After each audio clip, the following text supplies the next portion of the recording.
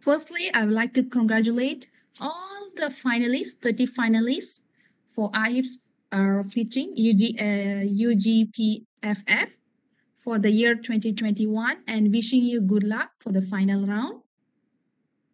So before the talks begin, allow me to introduce the speaker for today's section. The speaker for today's section is Mr. Ahmad Sharifuddin Samsudin. He is the lecturer at our school, Azman Hashim International Business School. Mr. Ahmad Sharifuddin Samsudin has experience in branding management, integrating marketing communications, advertising, and promotions. And recently, he gave a very interesting topic on for the uh, for the uh, for the free month 2021 on elevator pitching for us. So it's really valuable input for their IEPS members. So now, without further delay, I would like to welcome Mr. Ahmad Sharifuddin Samsudin to deliver a, a talk for today. And the floor is yours, Mr. Ahmad Sharifuddin. Please welcome. Thank you, Dr. Yogeshwari. Assalamualaikum. Very good afternoon, everyone. I hope everyone is uh, doing fine. Uh, this is 2 p.m. and um, I know that most of you at this hour of the day is not really productive, but we will try to make it simple. We will try to make it interesting. And at any time of the presentation, you can actually stop me and ask questions or give comments. So no problem. I hope that is okay with Dr. Yogesh, yeah? Yeah, sure, because doctor. Yeah, sure, The top, uh, the title of the afternoon's um, talk is workshop. So it is not really a workshop, um, but it is more on a on a talk and on a presentation of uh, pitching. Yeah. So I see that um, the marketing students are here, and I am sure that most of them um, are familiar with this topic. At least for those who are in my who were in my class last time, uh, Dr. Yogesh did mention integrated marketing communication just now, and I think Jamie, uh, you were in my IMC class, and I did gave an introduction to pitching and gave some tips on pitching.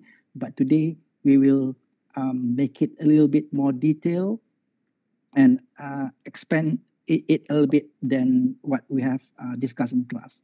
So for the students of uh, accounting and um, technology, so if you have any questions, if you do not and or and or not, are not familiar with some terms and uh, uh, terminology that I use, uh, you can always ask me. Uh, you can interrupt the presentation and ask me. Okay.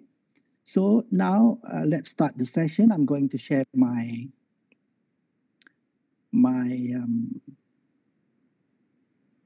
presentation.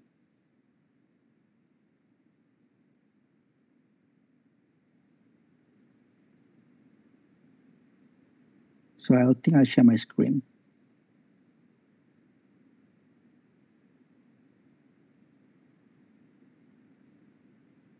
Yeah, I hope everyone can see my screen, my presentation slide. The title is Pitching for Funding. Dr. Yogesh, is it clear? Okay, Christopher say yeah, okay, nice. Okay. So why the title is Pitching for Funding? Because the program or the event that you are in now is uh, undergraduate pitching for funding. So basically you are asking for some funds for your dissertation or thesis project. So why are we talking about this topic? Because at the end of the day, we are all at some point our salesmen. We are always trying to sell something.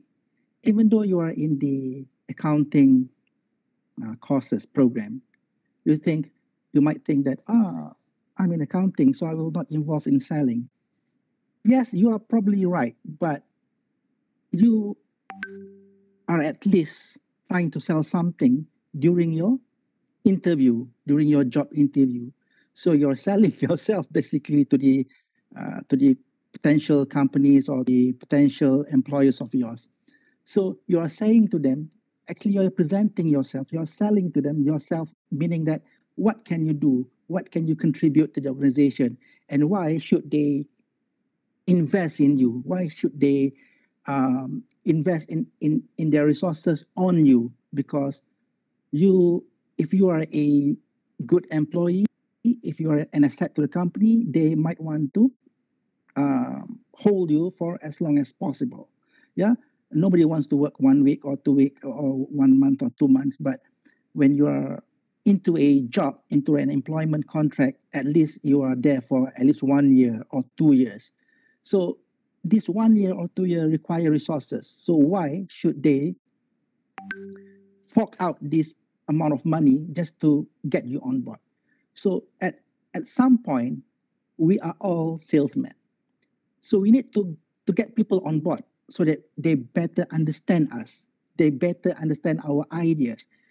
If for example upon graduation upon graduating from the programs in AHIBS you wanted to apply for some grants you wanted to apply for some funding for example what you're doing now you have to make the people or the panel who has the money to understand and embrace your ideas so if you're just merely presenting facts, they will they have listened to facts, they, they know all the facts about the business, they have experience, they have like 10, 20 years experience of listening to people's presentation.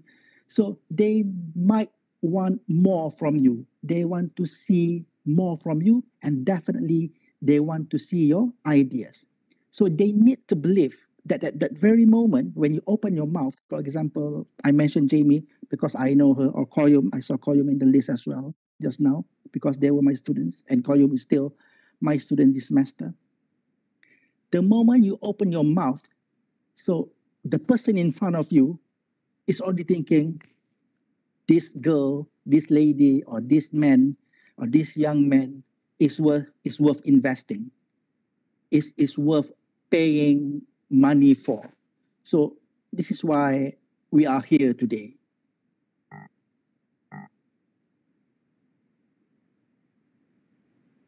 So how, how to achieve this? As I said before, merely stating the facts won't do. If you say, I know you are, some of you are uh, the accounting students, so you deal with facts and figures each and every day. Since the day you entered the course, the program, you are learning and studying and trained to present facts and figures. But those facts and figures won't do. Just the facts and figures won't do. You need to do some selling. What is your unique selling proposition? So, what is unique selling proposition, Jamie? Jamie, can you share with us your understanding of unique selling proposition? Hello, Doctor. Hello, Cik yeah. Um, from, for, yep. Yeah, Jamie. Uh, so for for my understanding of the unique selling proposition proposition is our selling uh the unique selling point, our value that we need to deliver to our customer. Uh, explain it in a simple terms, Jamie, like um any layman would understand. When I will say, oh, you have to have this unique selling proposition, or we call, we always call it USP. What is you? What is your USP? So how do you explain it, Jamie? Uh, sorry for the interruption, Encik Dean. Yeah. Uh, there is no accounting students, only ma- management and marketing students. Oh, I see. Because there are no accounting students that are doing Yes. PSM this semester.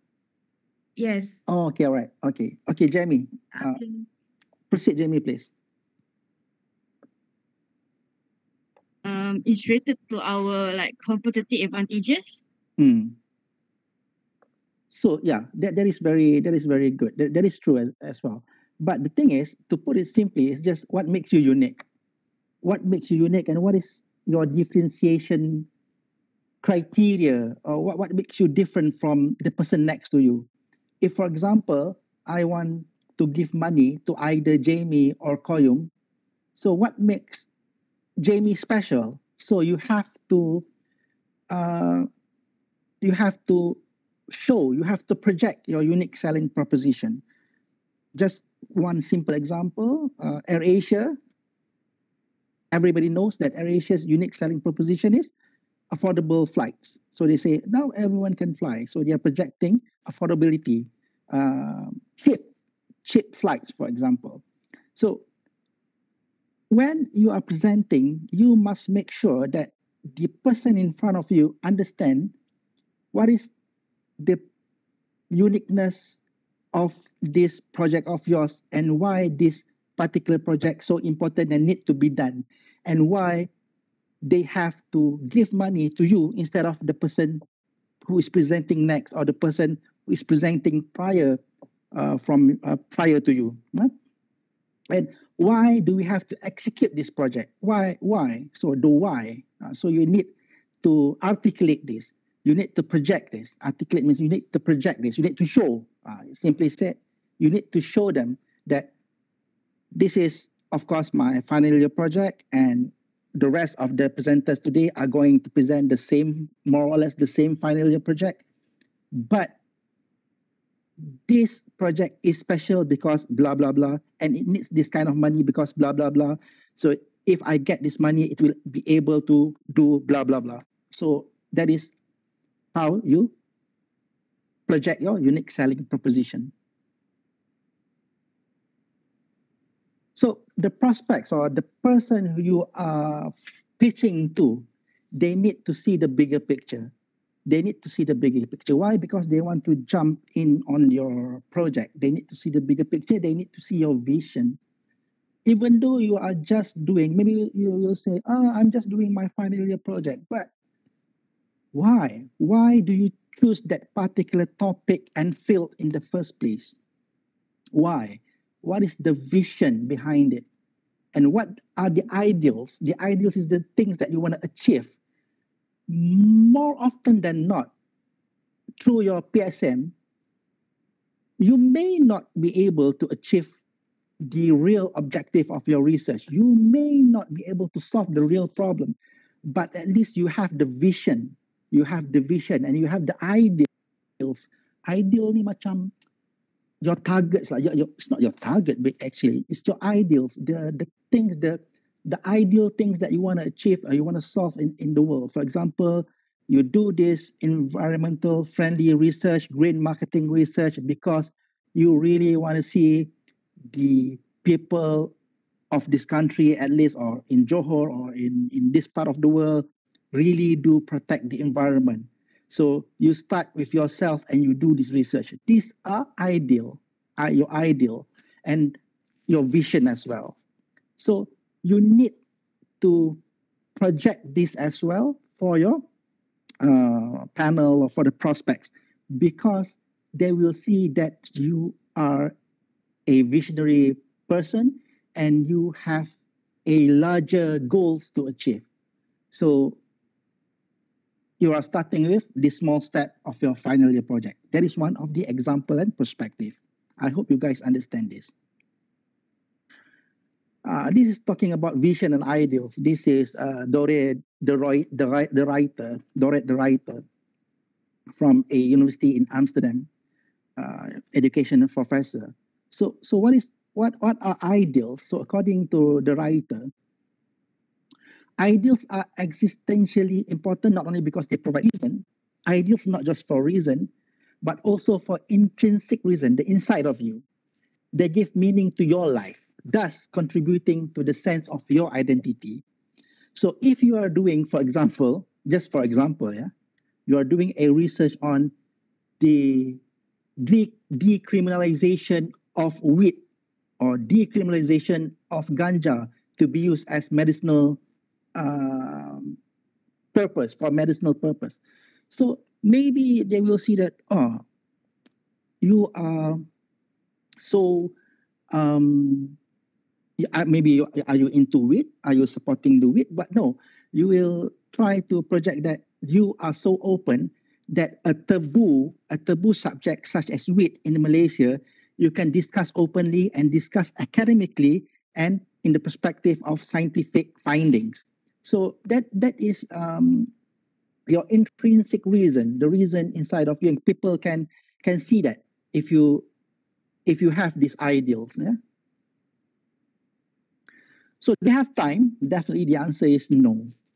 Of course, we do not have the time to explain everything that we want to do. Uh, it is difficult to explain our, our thoughts and intention, but we definitely have at least one or two minutes. Yeah, one or two minutes to get these ideas, these visions across. So that is why we can pitch the idea. We can pitch the idea.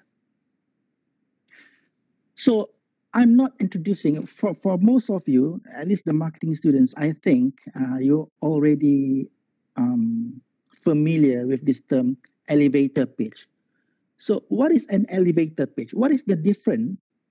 What is the difference between a pitch and a presentation? A presentation basically is a is a presentation or you are presenting some facts to the audience. You're presenting some facts. You're presenting to them. This is A, this is B, this is C. But a pitch is telling the people you are presenting or you're pitching to to get on board with you, to have the same understanding as you, as you and to buy what you are selling. By selling doesn't mean always selling tangible product, but maybe idea. Maybe today I'm pitching to the whole university or to the management of the university to make it legal for people to smoke weed in the university. Uh, so people will say, what, what, what, this is this is what, what is this? So you pitch to them, you make them understand, you make them embrace your ideas and your values, your ideals and your vision. And then when they are on board, they will say, yeah, uh, in UTM, it is legal for people to smoke weed, for example, yeah, just for example. And we are recording this. I might be in trouble. So that is a pitch. Uh, the difference between a pitch and a present. Most of you, and up to this moment, from your first year until your final year, you had done so much presentation. But some of the presentations might not be effective. Some are okay, you get marks for it. But maybe none of the presentation, the lecturer really believe you. Maybe he or she just listened to you and then gave you marks. But if he or she believes in what you are saying, not just you're going to get good marks, but maybe she will guide you more on your idea and share with you more on your projects and you'll gain lot a lot more than just grades in your studies. So this is, this is most important. Everybody can get an A. The next person to you will get an A. But what is the value of that A? So you can choose to get that value together with that A and what it can do for you for the future. Okay? So coming back to the elevator pitch. So what is an elevator pitch? It is a quick persuasion uh, speech, quick persuasive speech that is used to create interest in a project, concept, or people, ideas, something like that. So why, I explain why we use the term elevator uh, next in the next slide. So basically, what it what it mean what I meant what I meant by it distills your idea into the simplest, clearest point of value is that you have this big idea and you get this big idea and you write it down on paper that becomes your proposal. So how long is your proposal? 15, 20 page proposal? So how do you explain this 15, 20 page proposal to the next person who is interested to know what you are doing? I think uh, up to this moment, you might have questions from your friends, from your family, or from your juniors asking you, what is final year project and what are you doing for your final year project? What actually are you researching for your final year project? So you cannot give him or her the 15 or 20 page proposal. Uh, this is the proposal, please read it yourself. That is not, that is rude basically, and definitely not effective, not effective for the person's understanding. So you have to get all these 15, 20 page proposal, transform them into the simplest, clearest points of value. So they can see what makes you different, uh, what is the direction of your work and then instill enough curiosity to ask you for the whole 15, 20 page. Can I have the whole 15, 20 page document so that I can read it myself? I'm very interested in your work. So that is what a page needs to do. So theoretically, it should be no longer than the time uh, you need to write an elevator. In AHIBS, we have, in AHIBS building, we have five floors, yeah, if I'm not mistaken. Ground one, two, three, four. Yeah, five floors. So if you want to go to the fifth floor, oh, sorry, if you want to go to the fourth floor, because ground, first, second, third, fourth. If you want to go to the top floor, from the ground floor, you uh, push the button of the fourth floor button. How long do you think it will take for the lift to, to take you from ground floor to the top floor? In AHIBS, maybe 30 seconds? I think not more than 30 seconds. If there is no people stopping the elevator on the first floor, second floor, if it is a smooth ride, it will be in the region of 30 seconds. So this is the time that you need that you need to make a page so that the person who is listening to the page, who is listening to your page, will understand what you are doing, what is your registration, what is your uh, what you are doing, what is your intention, sorry, what is your intention, and what is the direction of your project and wants to be part of what you are doing. So this 30 seconds time frame. So if the higher the building, it might take like two minutes, things like that. So in a nutshell, it is just what it sounds like, a short 30 to 60 second well-crafted pitch. Well-crafted means you carefully design it, of course, you practice it, it's in your head. Whenever you need to say it, you can say it just like that tip of the tongue or just like a snap of your finger. Yeah. Uh, 30 second to 60 second well crafted business pitch telling someone who you are if you are introducing yourself uh, and why you should invest, why they should invest in your project or endeavor. I have some videos and some clips that I love to share with you. Uh, I will give some introduction to this clip, basically. So if you see this clip, it is taken from the um, famous and po popular TV series on HBO, HBO if I'm not mistaken, uh, Mad Men, Mad Men, M-A-D-M-E-N. So it is a pun there, Mad Men, Mad is Mad, but it's, it is actually talking about um, the advertising industry in the 60s, the heyday or the golden era of advertising in New York, in Madison Avenue, New York. So that is why they call it Mad Men, Madison Avenue Men. So most of the big advertising agencies uh, were located there in Madison Avenue. So it is the center, the epicenter of advertising, not just in the United States, but the world as well. So it is a benchmark what they are doing back then and still are, I think. So the character name on the left, the, the character on the right is his partner, I think, in the in the series. And the character on the left, uh, Jon Hamm, uh, plays the character named Don Don Draper. So Don Draper is the main character in this series, and why I chose this particular clip, although it is a fiction, but it amplifies and it shows, exemplifies, it shows why saying the correct thing at the correct time and well crafted words with the correct meaning can do to people's perspective and motivation. So this is Don Draper. Uh, listen to his basically what I call a pitch in this situation understand that the financial straddling required is for a very good reason.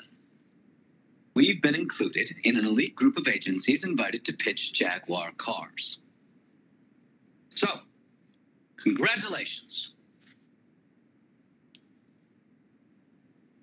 Anything else? Yes, actually, I'd like to say something. Would you? Last year at this time, whether you knew it or not, survival of this company was on the line. And I look at the faces in this room who have given their all to this tenuous recovery, and I say, prepare to take a great leap forward. Prepare to swim the English Channel and then drown in champagne. There are six weekends between now and the pitch. We are going to spend them all here. We will celebrate Christmas here. We will ring in the new year together. And in the end, we will represent Jaguar, and it will be worth it. Every agency on Madison Avenue is defined by the moment they got their car. When we land Jaguar, the world will know we've arrived.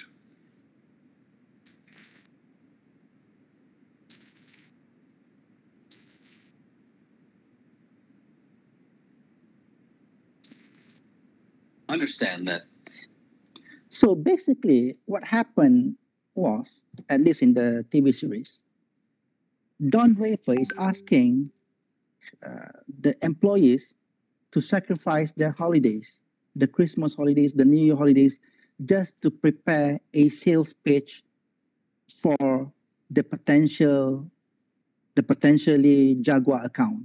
Um, meaning that Jaguar account means the Jaguar, the car manufacturer, is asking them to pitch a proposal so that if the proposal is, is accepted, they will do all the Jaguar marketing communications, advertising, and promotion. So between this day and the day that they are supposed to present and pitch to Jaguar, they have six weeks. And then in the six weeks, they have uh, holidays, uh, Christmas, uh, New Year, weekends. So instead of the employees, instead of employees granting or complaining that they have to sacrifice the holidays, they cannot be with their family during Christmas, during New Year, sacrifice all the weekends, there goes your social life. They are clapping hands and on board with Don Draper. Why? Because he put it in a very nice way, in a very persuasive way that this is what we are here for. Screw the holidays. When we get the Jaguar account, we will announce to the world we are here, meaning here in the in the uh, industry of advertising and promotion. So that is one fictional example. And this is my favorite person to picture, the late Steve Jobs. He's so good. There are several reasons why I think he is so good. Number one, if you really think about it, Apple does not create or invent a totally new product. Correct me if I'm wrong. If you think and if you have data showing that ah, Apple created a new a, to, a totally new product in the marketplace, never been invented by anybody else, you can show me now. But in my opinion, Apple does not and did not and still does not invent anything new. They did not invent smartphone. They did not invent MP3 player, but they make it better, definitely. So this is uh, Steve Jobs pitching for the iPod Nano, the iPod Nano. I think this is circa 2007, 2008, that, that, that year. Today, focus. Now, the iPod Mini is what all competitors have their sights focused on. It's obvious because the iPod Mini is the most popular MP3 player in the world. It's the most popular iPod. It's the most popular. So that's the one everybody's focused on. Well, today we're going to do something pretty bold. Today, place it. Place it with something. Now let's go back to the beginning because we started this all with a thousand songs in your pocket. We started it, original iPod. And then we carried a thousand songs in your pocket over to the iPod mini. Now we're going to replace the iPod. Player, an entirely new ground up design. So it has a thousand songs in your pocket. It's called the iPod Nano. Thousand songs in your pocket. iPod Nano. So let's get a camera. Pocket. This pocket's been the one that you're it's going in. Initially. The iPod and the right in there. Wonder what this pocket's for? I've always wondered that. Well, now we know because this is the new.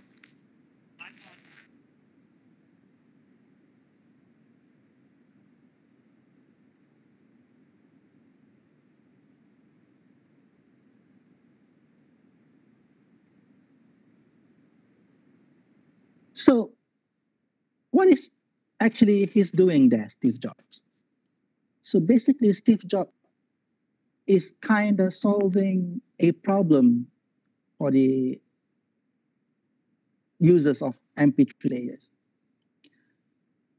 Previously, if you are a an avid music fan, if you want to travel, you have to bring your Sony. If Sony, the, the brand name is Walkman, the Sony Walkman. So you have the cassette tape, and then you have the Discman. Discman. You are using the CD. In, so in one CD, the most that you can, the normally the industry standard is 10 songs in one album per CD. So if you're traveling, you want you want to listen more than 10 songs, so you have to bring a bag of CDs. I used to have this bag of CDs. And you put the CDs in the CD sleeve and you have a bag and you carry them around with your Discman or, or CD player, the portable CD player. Discman is a brand name of Sony. And then Steve Jobs, Steve Jobs says, look, we, we are creating MP3 player. Uh, it is called iPod and iPod mini. So it can store the minimum storage. You can store 1,000 songs. So people are clapping their hands. And now they're introducing iPod Nano, smaller size. It can fit in the jeans, the small pocket in your jeans. So that is what the small pocket is for, for your jeans, to store your iPod Nano. So you can travel now, you can be wherever, whenever, wherever you want, and you still can listen to your collection of songs and music because you have 1,000 songs in your pocket. So he's trying to sell, this is unique selling proposition, the USP. But if you really think about it, why do you need 1,000 songs in your pocket? Can you listen to the 1,000 songs in your pocket? The, the answer is no. But he is so persuasive and so effective in his pitch that people actually buys this iPod mini, iPod, iPod mini, iPod nano, iPod shuffle. So they're selling like hotcakes back then. Um, yeah. So now the function of the iPod is taken over by the, the iPhone because iPhone or the your smartphone can do almost anything. It is like a small computer now. Yeah, small computer. But Steve Jobs is so successful in his sales pitch in his he called it the Steve Jobs presentation presentation, the Apple presentation. This format of presenting by corporate now is a standard format. Samsung will do this kind of presentation. Everyone in the industry is doing this kind of presentation. Why? Because it is so effective. A big screen behind of you, and you're walking in front of the big screen and pitching, not just presenting, but pitching and done it semi-formally. So Steve Jobs, as you know, never wears full suit. I've never seen Steve Jobs wearing suit, by the way. So that is his unique selling proposition as well. That what makes his diff, what makes him different from the rest of the people, the player in the industry. So he wears his T-shirt and Levi's and Nike sneakers. So this is Steve Jobs style. So now this style is being copied, although most of the other competitors or players in the industry are not dressing up like him, but they are dressed down. They were they may be wearing suit but with no tie, or sports jacket with jeans and shirt. So this is the Steve Jobs style or the Apple presentation pitching style. This is a clip from BBC, the British Broadcasting uh, Corporation. Uh, the Dragon's Den. In this part of the world, we get the Shark Tank, the Shark Tank, Shark, Shark Tank Australia, Shark Tank US. So what happens in this reality TV show is that uh, a panel of investor, capital investor, uh, give you the opportunity, give the contestants or the participants in the reality show uh, opportunity to present for funding. If you have a product, if you have a project, you wanna uh, you wanna get more funding, you want to create larger market for your products, you want to get a hook with better distributor, so you can pitch your idea here. So this clip is long, but I will play until the end of his pitch because I think this guy not only he has a good idea, uh, this is a digital product by the way, not just he got uh, a good idea, but he smoothly articulate and smoothly pitch his idea. So let's watch it. Very smooth pitch. So the, the pitch is smooth, the objectives are clear, the business model is clear, what he wants to do is clear. So this is an example of a real good pitch. Okay? Hello, dragons. So all these pictures and these techniques, when to use it? Of course, you are facing this uh, undergraduate pitching for funding. Uh, when is it? Uh, Dr. Jorges, uh, exactly what, is, when is the date? On 12th December, Doctor. Uh, on 12th 12th of December. December. So you have like two weeks plus, well, maybe two weeks to prepare. So it is ample time. You have ample time, basically. So just a quick, um, just a quick points I'm sharing with you here. Not just for salespeople, like you have seen in these three uh, tips example. Uh, it is not just for products and services, but you can use it to introduce your organization to potential clients or customers. You can use it uh, to sell an idea to your boss, your, your superior, uh, to tell people about the change initiative that you are leading. For example, amongst yourself in your students association, you might have some some activities and you might want to change the activities that normally been done by the students. Or you want to change the perspective the direction of the students association strategy for example. So you might want to use this technique. You could even craft one to tell people what you do for a living yeah maybe when you go back home for uh, new year for christmas for hari raya and um, people asking you ah what are you doing now? Are you studying?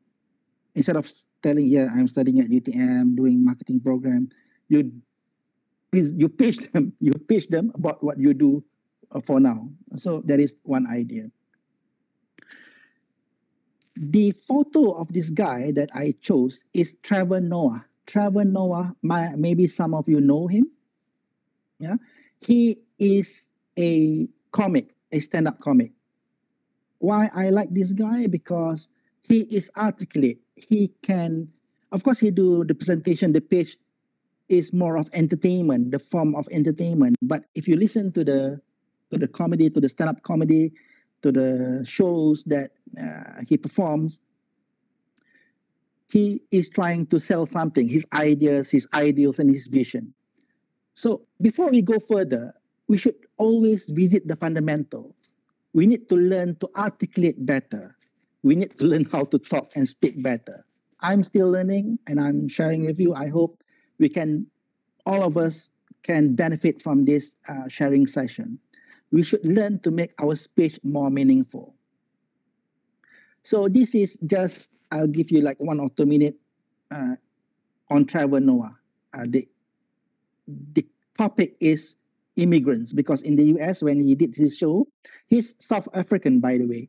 So he he is now in the United States uh, hosting shows and doing shows because, as you know, US is the center for entertainment, yeah, the business entertainment of the world. So he's talking about immigrants, and this is during Trump's administration, President Trump's administration, where one of the policies is not really favorable to the immigrants. So this is Trevor Noah's pick on the immigrant situation. that should be a rule in America. They should say so no immigrants, no spies. So how do we learn how to talk better? So I'm referring to what is called the HAIL by Julian Treasure, four foundations to make our speech more powerful and meaningful. So number one is honesty, being true in what you say, being straight and clear. By honesty, I do not mean that like 100% like total honesty. When I see Koyum, he looks too skinny, I will say, ah, Koyum, macam tak cukup makan. So that is not good anyway. That is rude. But maybe honest, but rude. But at least you are true in what you say. When you are presenting, you are pitching for your project, you really want to do something with the project. You really want to collect data on that uh, topic. You really want to solve some of the problems related to that topic. Yeah. Be true in what you say, being straight and be clear. Do not beat around the bush.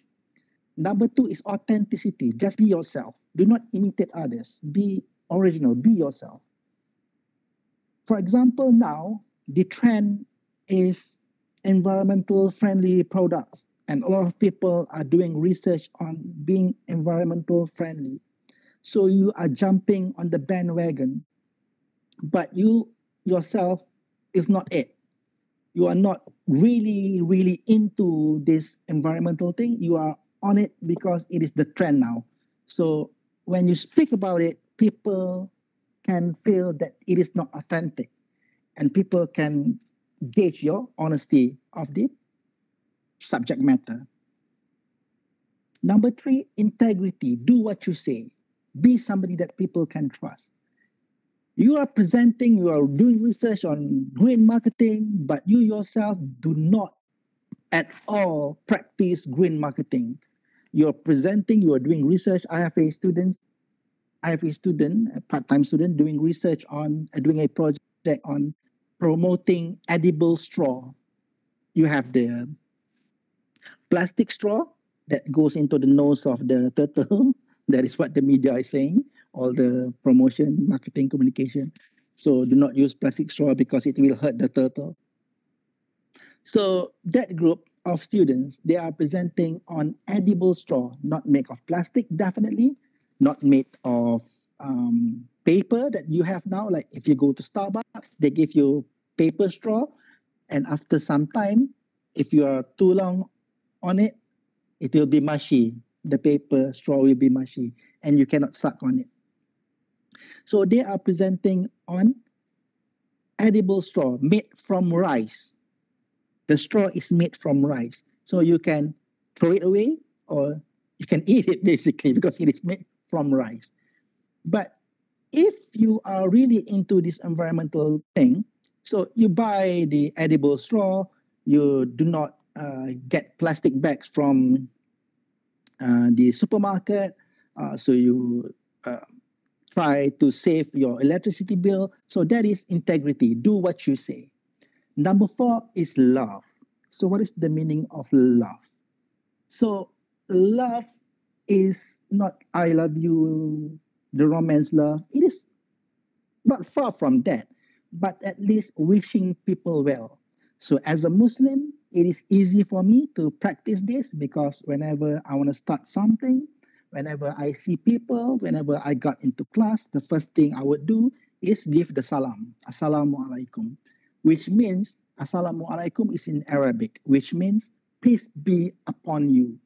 So I'm I am wishing people well. I'm wishing them to be in a peaceful situation. I do not start my class with the hell with you yeah, the hell with you, go to hell. No, I wish them well. Assalamu alaikum. May you attain peace. Peace be with you. Why? Why? Somebody is laughing because I used the word go to hell. So it is hell. Honesty, authenticity, integrity, and love. Always wish people well. But of course, do it, do it honestly. So that is the paradigm. HAIL is the paradigm. Honesty, authenticity, authenticity, integrity, and love. And you have another set of tools as well. we all have this set of tools. Um, how you say things, how you say things. So, you, how you say things, you can use this toolbox, which everyone has it, but we may not realize it or we do not know how to use it because we never practiced it. Tools that we all can use to increase the power of your speech. Number one, register. Locate your register. Falsetto may not always work. Falsetto, always using ah, the head voice. If you have the chance, if you have the means and opportunity, especially if you are a marketing student, you might want to register or to enlist in a to register and to find a vocal class. Not to sing not so much uh, learning how to sing but learning how to control your voice so that you know your register. You know the head voice you know the low voice. You know why because sometimes we want to use the chest voice the chest voice for weight because research has shown that politicians at least if you are one of your ambitions is to, to be involved in politics, you need to do this research and go into class. How to talk with your chest voice, especially if you're a man. Do you know Barry White, the singer, the American singer? He has a very low voice. So he is known as the voice of lovemaking. So people actually play his songs on the CD or whatever when they are together just to make babies. This is true. This is real. Barry White. Mm. So locate your register because most of the time you want to speak with your chest voice. You do not want to speak with your head voice all of the time. Number two is timbre. Timbre is how your voice feels. So this is a little bit difficult because some people are born with this. Some people has a warm, soft, rich voice, like Barry White just now. Some people have like normal voice, like me. I have a normal voice. Prosody. Monotone versus dynamic, statement versus question. This will give meaning to your conversation. So that is mono that is monotone. You have to be dynamic. Sometimes you have a stress point. Sometimes you take it back. Sometimes you give statement. Sometimes you give questions. So this is dynamic. Yeah? If you listen carefully to Trevor Noah just now, he's, he is just making a joke, but he used all this prosody. Yeah? Sometimes he stresses the point, sometimes he slows down. He lowers down uh, his voice just to a point and a statement. Number four is pace. Uh, you can talk too fast or too slow. So you have to know and control your pace. If you are rushing for time, you may be talking too fast and the person who is listening to you they won't understand so you might want to know and to create or, or to develop or to design your pitch just nice for the time you are given okay and sometimes you slower down your pace just to as much as possible do not fill this gap of your speech with um, mm, uh, silence can be powerful. Pitch. Incorrect pitch might imply a different meaning for the same words or sentences. Hey, you are beautiful. Are you making an accusation? Are you complimenting someone? You are correct. It, is that the correct pitch? so you need to know the correct pitch in order for you to convey the correct message. Number seven is volume.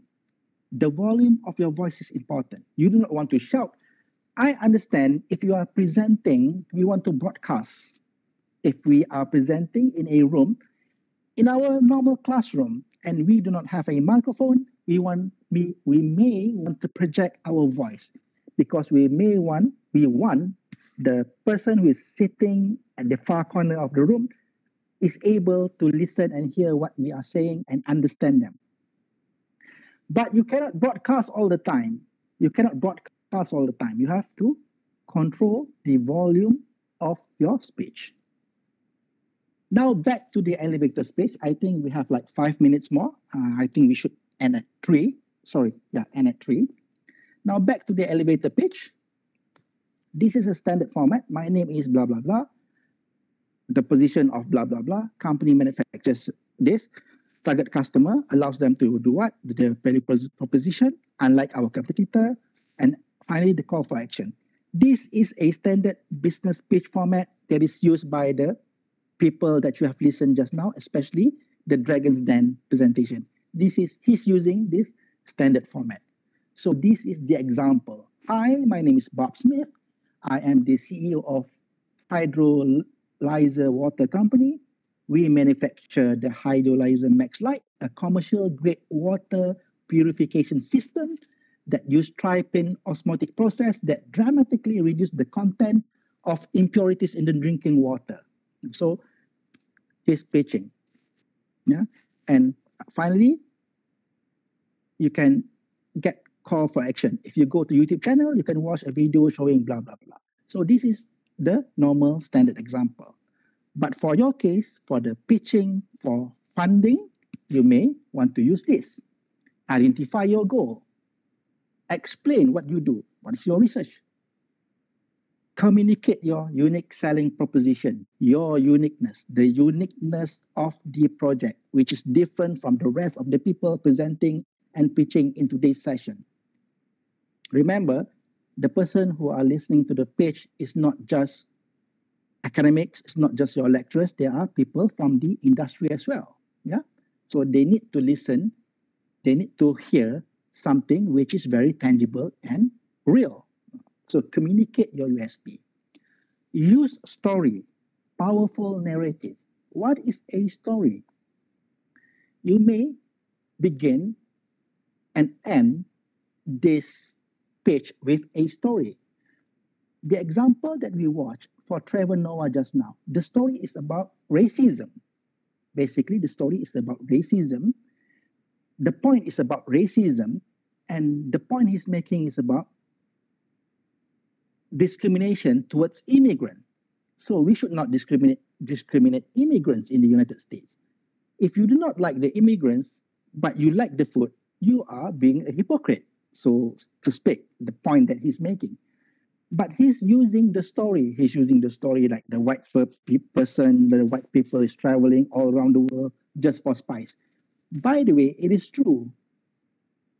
The spices of the world is traded, was traded basically in this region, in our region, spices from India and whatever, from Sulawesi, from the Malay archipelago, they were traded here, and the center was Malacca back then. And the Europeans, they travel, they sail halfway around the world just to get a piece of share in the spice trade market. Namely, back then, the most expensive, I think, if I'm not mistaken, is the pepper, lada hitam.